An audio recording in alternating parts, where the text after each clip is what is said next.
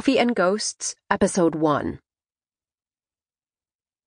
When it comes to ghosts, my grandmother has one solution brew a pot of coffee. Like today, in Sadie Lancaster's kitchen. Sadie clutches her hands beneath her chin and stares at our percolator, her eyes huge.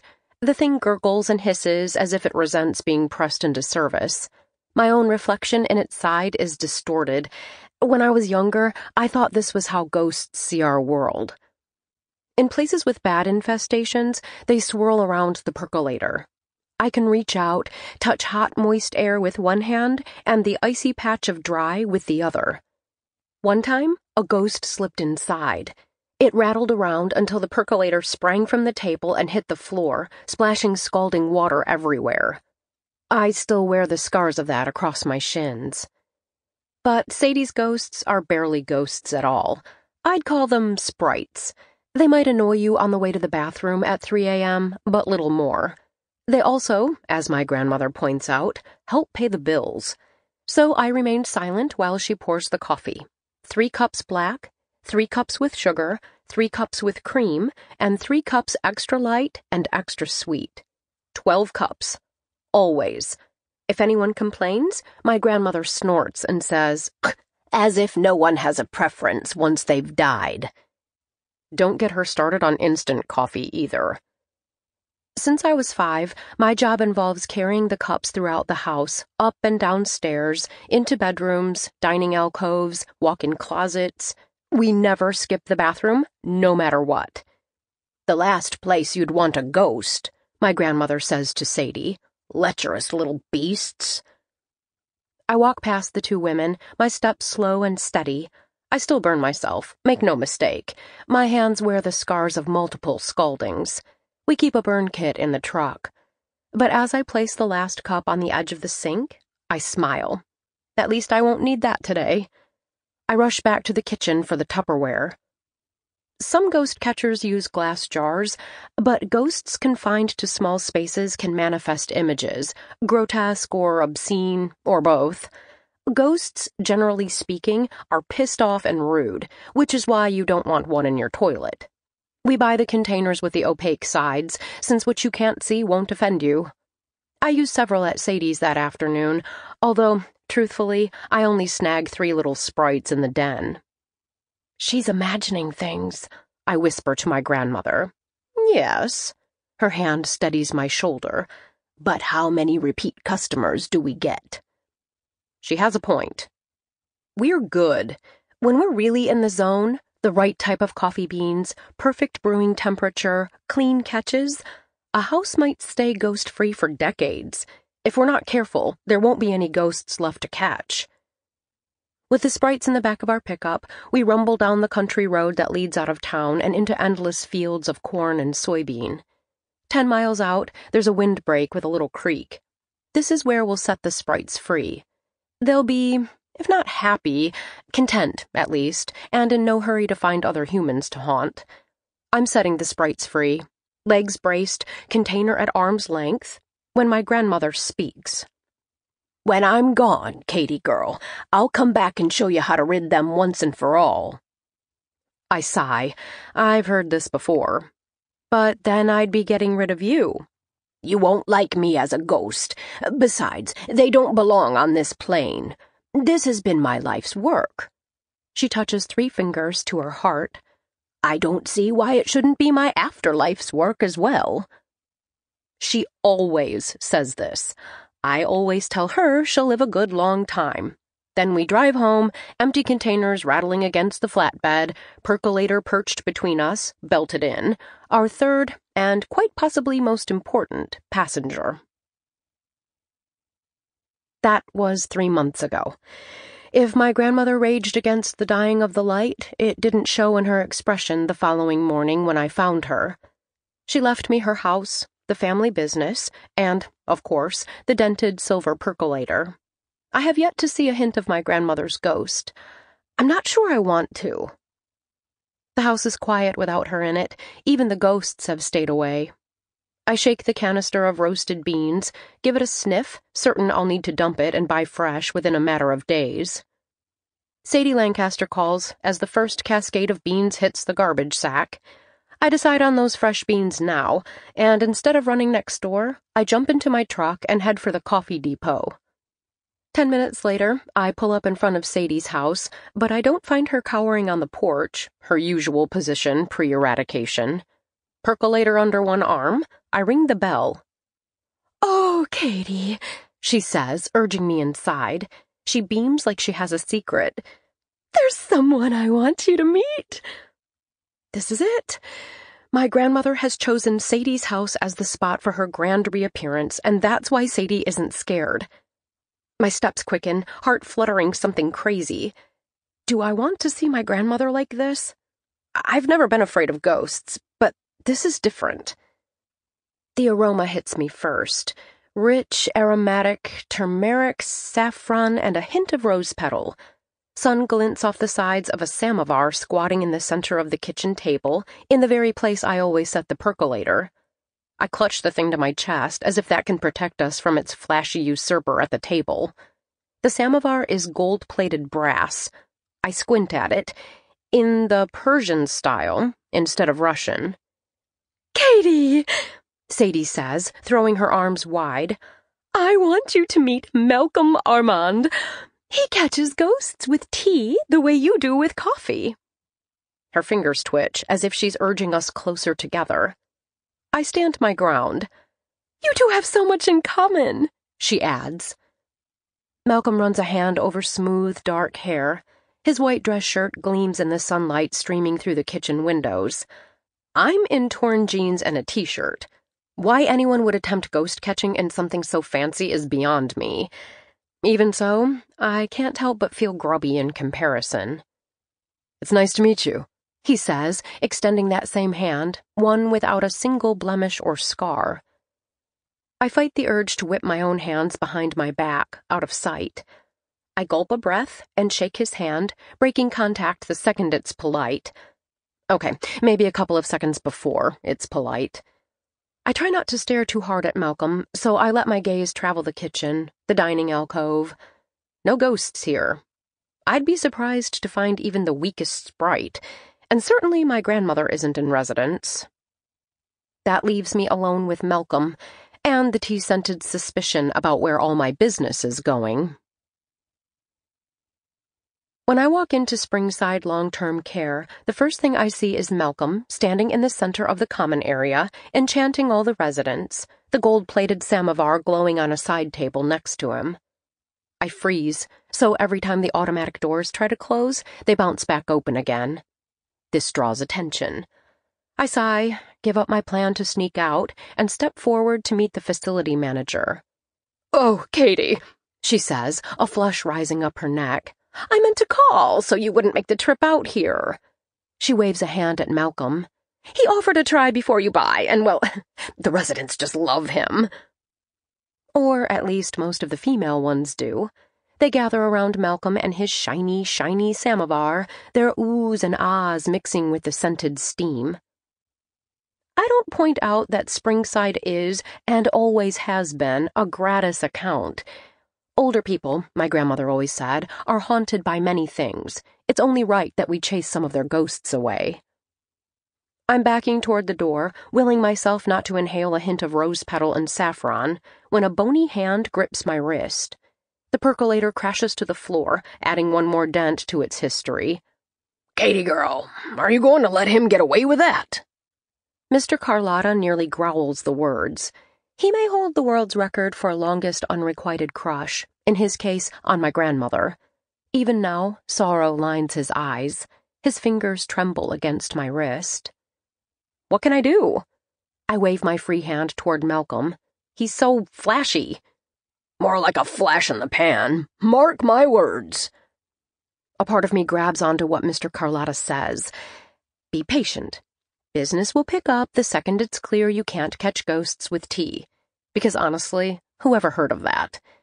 My practical side, the side that pays the property taxes and utility bills, wonders if the local coffee shop is hiring. I trace the scars on the backs of my hands while waiting for the coffee depot's assistant manager. My qualifications are thin. I know ghost hunting and how to brew a damn good cup of coffee. But customer service? Well, when you ghost hunt, people don't mind if you shove them out of the way, not if you trap the otherworldly thing shaking their house to the foundation. At the coffee depot, they probably frown on customer shoving. Still, the converted train station is quaint, and life as a barista can't be that bad, can it? The assistant manager plops down across from me. He wipes fake sweat from his brow and gives me a grin. So, He says, tell me a bit about yourself. I make the best damn coffee you've ever tasted. I declare this because I've read online that you should be confident in your interview. He chuckles, but doesn't sound amused. I'm sure you do. But tell me, And now the amusement is back. what about frothing milk? I like cappuccino, even if frothing milk is something I've never done. Likewise, I'm sure there are many fine answers to his question. I do not choose any of them. Instead, I say, Why would you want to do that? It's like I'm possessed by the spirit of my grandmother, since in that moment I sound just like her. right. He says.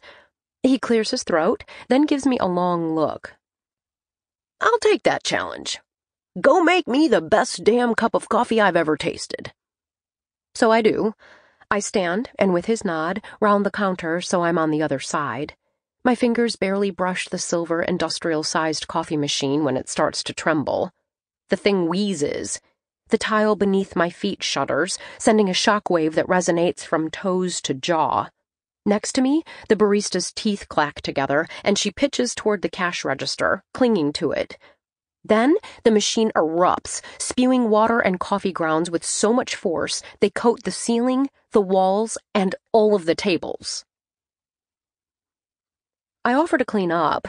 I offer to rid their machine of its ghost, for free.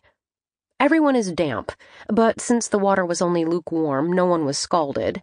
This is why the assistant manager pushes me out of the store instead of calling the police. As the door closes, his voice echoes behind me. Yes, do you have the number for Malcolm Armand? Something won't let me leave the sidewalk in front of the shop. My feet remain rooted there, next to the planters with the sugar maples. I stand there so long, it's a wonder I don't sprout leaves. But since I do stand there so long, I'm treated to the view of Malcolm Armand double parking and springing from his two seater. In the passenger seat, belted in like a trophy girlfriend, sits the samovar. That's not very practical, I say. He halts in his trek up the walk, samovar held away from me. What? Where do you put the ghosts? I mean, once you capture them. I point at the convertible. There's no room. He eyes me, my coffee soaked shirt, stained slacks, and all. He sniffs, nose wrinkling, and tromps into the shop without another look in my direction. I turn, uproot my feet, and inch toward the front window. Inside is the mess I made, but I ignore that. What I want to see is how Malcolm works, what he does, how he entices the ghosts. I stare so long the sun dries the back of my shirt. I study the inside of the shop, the placement of the samovar, and track Malcolm's every move until the assistant manager jerks a cord and Venetian blinds block my view. Whatever grips me about the shop, the ghosts or Malcolm, loosens its hold. Dismissed, I trudge home, leaving a set of coffee colored footprints in my wake. Katie? Are you there? The call comes at nine in the morning, on a day so sunny and bright, only the most dedicated pessimist could remain that way. Since I have all my overdue bills spread out on the dining room table, I'm well on my way to joining their ranks. Sadie? It sounds like her, but I've never heard her voice so shaky. Please, hurry! What's going on? Where are you? My porch. They won't let me inside. Who won't? The ghosts. Why don't you call Malcolm? The question comes out sharp, laced with acid and jealousy. He's tra trapped inside. Trapped? Dead? Sadie's voice hitches. Ghosts don't kill. No, normally ghosts don't, but they can. I'll be right over. The second I pull the half and half from the fridge and give it a good whiff, I realize right over isn't happening. I toss the reeking carton into the garbage and head to the canister with the beans. A few lone ones rattle in the bottom. I haven't been back to the coffee depot since my disastrous interview, but it looks like I'll be stopping there today. With the percolator strapped in its seat, a four pound bag of sugar snug against it, and several containers of half and half on the truck's floor, I run two red lights on my way to the coffee depot. By the time the little bell above the door stops jingling, the assistant manager is rounding the corner. He stalks forward, arms loaded down with bags of coffee beans. He skids to a halt and shoves the beans at me. But, I begin. He holds up a cell phone. On the screen, a message reads Malcolm, give her anything she wants. Still uncertain, I blink at the words. In my arms, I hold everything I want, or at least need, for now. I head for the door. Call or text if you need a resupply, the assistant manager shouts after me. I'll have someone run it over. The door whooshes closed before I can say thanks. I test out the front door, the garage, even the window to the bathroom. Every surface I touch ices my fingertips. Sadie Lancaster's house is in full on ghost infestation. Usually, something like this takes years to build up, or a sudden invasion of strong ghosts, a group of them. True, I haven't cleared the sprites in a month or so, but that can't be the cause of this. My gaze travels the structure, from chimney to foundation. All the windows are black, the cheery blue paint molting into a dead gray. I need to get inside. I need to do that now. So I do the most logical thing. I march up the porch steps, press my palm against the doorbell, and let it ring for an entire minute. Then I cross my arms over my chest and tap my foot. Nobody's getting any coffee if someone doesn't open up this door. I sound bossy, just like my grandmother. I kind of like it. A moment later, the door creaks on its hinges. I scoop up the percolator and my bag of supplies and race for the kitchen. Malcolm? I call out. Are you okay? Is he even here? Maybe he went out the back once the ghosts released their hold on the doors. I plug in the percolator and take a few deep breaths so I don't rush the preparations. Ghosts this strong will need the best coffee I can brew. I survey the beans the assistant manager shoved at me 100% Kona? Really? Shame to waste that on ghosts. But the air prickles the skin on my arms. It must be 50 degrees in here and getting colder. 100% Kona might not do the trick if I don't hurry. Katie? A voice rasps. For a second, I mistake it for a ghost. Katie! Nope, too deep, too human for that. Malcolm? In the dining room. I set the percolator to brew and run. On the threshold, I trip over something bulky and sail through the air. I land hard, but manage to tuck and roll. When I stop, the blown out end of a gold plated samovar fills my view, the brass twisted into vicious curlicues. A groan comes from the threshold. Malcolm props himself up on one elbow, his cell phone clutched in one hand, his shirt torn and tea stained. What happened? I say. It just blew. I was adding in a sprite when. Wait. You've been storing all the ghosts? I heft the samovar, careful of the edges. In here? He nods. You don't release them? Never have. He shakes his head, eyes downcast. Honestly, I don't know how. This sad, honest confession tugs at me. We don't have time, however, to go over the finer points of ghost hunting. Can you stand? I ask. Walk? I think so. Then you can help. In the kitchen, I pour the 12 cups. Malcolm adds the half and half and sugar. His hands are steady, and he stirs each cup without spilling a single drop. My grandmother would approve. From there, we divide and conquer, carrying the cups to various spots in the house. Be sure to put one in the master bath. I call from the living room. There's bound to be one in there. It won't let me in, he says a moment later. Oh, really? Nasty little bugger. Ghosts and their toilet humor. At the door to the bathroom, I ease the cup of coffee from Malcolm's hands, then kick on the door. It flies open with all the strength of the supernatural behind it. Malcolm places a hand on my arm. I don't think it'll be okay. I hear it for the lie it is, and so must Malcolm, but he lets me go. I close the door and place the coffee on the vanity. That icy patch of air flutters past, swirls into the steam, and revels in it. Oh, it is having the best time. At everyone's expense, too. Before I can trap it beneath some Tupperware, that same feeling from the coffee shop washes over me. This is the ghost in the coffee machine. This is my grandmother. The realization makes me drop the container. Malcolm pounds on the door, but I ignore him. Grandma? Now the ghost swoops around me, a frigid caress against my cheek. What are you doing? I, thought. Something that sounds like hush fills the air. Whatever her mission, it's not for me to question. I love you, I say, and I miss you. I pick up the container, and my grandmother flows inside, compliantly. I secure the lid and hug the Tupperware to my chest. During her life, my grandmother was right about most everything. But here's where she was wrong. I do like her as a ghost. We drive out to the nature preserve, a good 30 miles from town. In a deserted campsite, I demonstrate how to open containers and set ghosts free. I even let Malcolm release a few, only the sprites, but you have to start somewhere. Will they come back? He asks. The strong ones can, but most choose to stay here or find an old barn to haunt. Something's got to scare all those scouts on camping trips, right? Malcolm studies the backs of his hands. The beautiful olive skin is pink from scalding. You should put something on that, I say, before it scars. A little scarring never hurt anyone. I'm sorry for a lot of things.